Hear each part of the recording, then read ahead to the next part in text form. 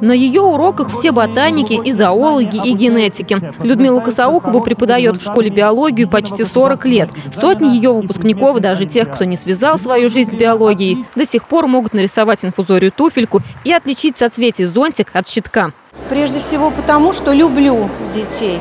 Я вообще, когда думаю, учитель идет на урок, он должен служить прежде всего детям.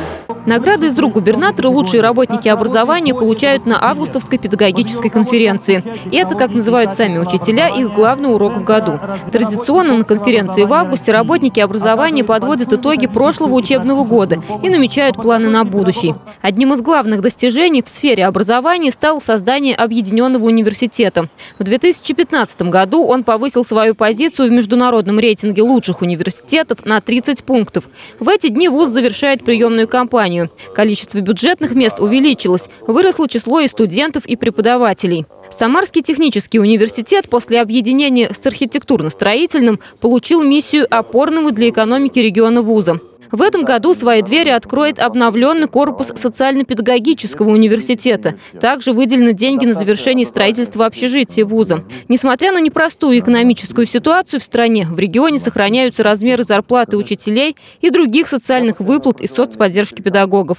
У нас на самом деле очень много творческих инициатив, очень много творческих людей, очень много людей, которые отдают полностью себя своей работе. Это чувствуется. Поэтому мы уже все годы последние имеем в финале учителей года, все годы. Мы имеем своего победителя, лучшего учителя года. И мы имеем другие результаты, которые говорят о том, что наша общеобразовательная школа на очень высоком уровне. Лучшей в стране обещает стать строящаяся в южном городе школа. Она будет оснащена по последнему слову техники. Впервые за 20 лет строится школа в столице региона. 1 сентября двери своим ученикам откроют две новые самарские школы. В Крутых Ключах, куда уже записано рекордное число первоклассников, и в Волгаре.